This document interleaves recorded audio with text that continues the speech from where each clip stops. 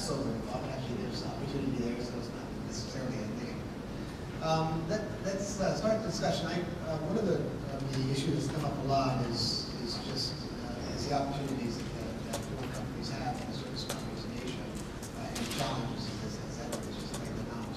Um, uh, and how that, uh, I'm interested in how that interacts with the, um, with, with the desire and the, the recognition that there needs to be changes in, in, in the service sector in these countries in order to drive growth. Them put it quite, uh, quite uh, dramatically, and that is if they don't have these kinds of reforms, there's going to be social unrest and severe problems. And so there's an imperative reform.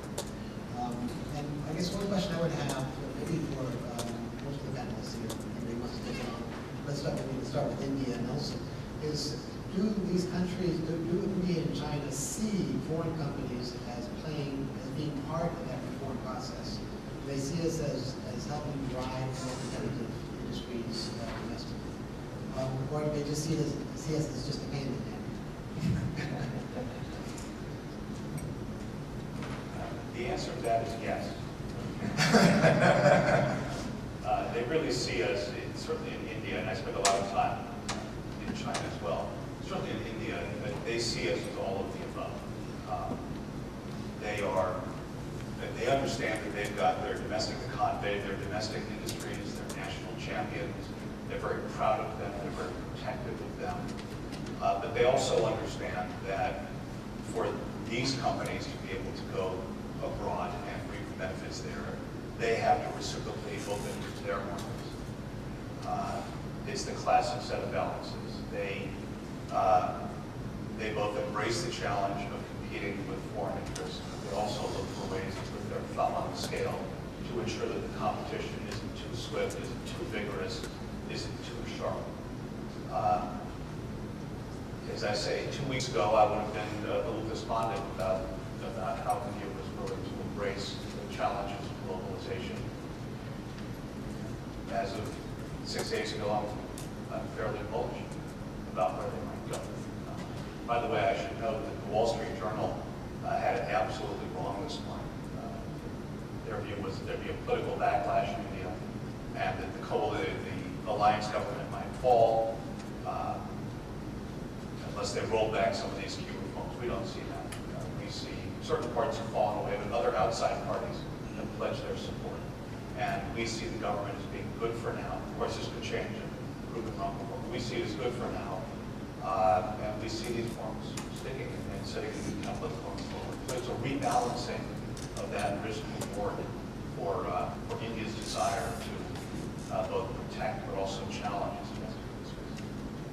Well, Also, uh, from uh, the China perspective, uh, your views on China, how, do- how do, how do they see um, foreign investment playing, uh, is, is is it mainly just a, is it a reciprocity thing, that is, they're going to have to, the reciprocity in order to have their financial service companies uh, in the American market, for example? Or uh, do they also see them as uh, foreign companies playing a positive role in the, uh, in the Chinese economy? Well, it's, it's a difficult question because first of all, it depends on who you speak to.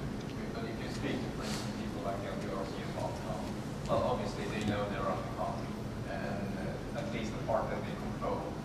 And they know their economy is not trade dependent, it's actually investment driven. And if the second investment stops, the Chinese economy stops. So they know about the, the interdependence that exists in structure, that they are cautious. And I think a part of that is goes back to the response that I get when I discuss with well, both Chinese as well as Indian uh, officials about, for instance, IS ISA and TPP, both proposals I'm strongly in favor of. And uh, which is partly about raising the preferential barrier. And uh, sometimes they just joke and say, well, it took us 50 years to join the uh, GATT, so see you in 50 years. And uh, the question comes down to how does actually mercantilist power or realist power respond to um, how do they actually respond to um, foreign economic entities? And uh, it's no there's no easy answer to that. Uh, but one thing that I can be sure of is first, they're digging their own trenches, meaning that they're building our own trenches. And unfortunately, the FTAs they are concluding, it's not, well, it's, even ASEAN, which is probably the biggest FTA, can only deliver less than 30 billion, and they need 300. So even if they concluded with everybody in the region, uh, it wouldn't make any difference. They wouldn't reach the target. Uh, maybe CKJ, the China, Korea, Japan, three-party FTA could make a difference, but I think they're figuring out a couple of islands with gouts on them. So uh, we might wait for that for a while. So basically a full-scale FTA or multilateralization or unilateral liberalization, that's the only way they have to go. And so far they're cherry picking. Just let me just give you some example. Um, they have handed out quite a lot of uh, security joint venture licenses uh, on this in China, but they don't open up the retail consumer credit. Uh, they open up the operating system for the um, uh, for uh, cell phones, also very close to mobile. Uh, but they don't open up for engines, even though it's the same company. So obviously uh, there are sensitivities, and they are very careful. And it's not necessarily linked to interests, that's something. So, uh, and it's also obvious from looking at the FTAs where they have very officially open up, for instance, like CEPA with Hong Kong or with Taiwan, where they actually allow for banking and um, or RMB clearances. It's a, it's a part of their core interest from a strategic perspective. And it's not necessarily because the Taiwanese banks are so competitive. But you can put the other way as well. And from their point of view, what's in it for them? It's not like we are opening up the construction market for them or we are opening up the sport.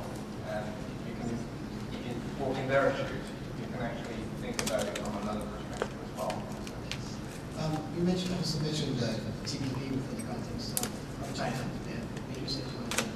Uh, This may be our last uh, uh, question. Um, uh, If China expressed interest in TPP, well, first of all, uh, is there any talk of that? And if uh, if they actually came up one day and said they would like to join TPP, what would the reaction of the U.S. be?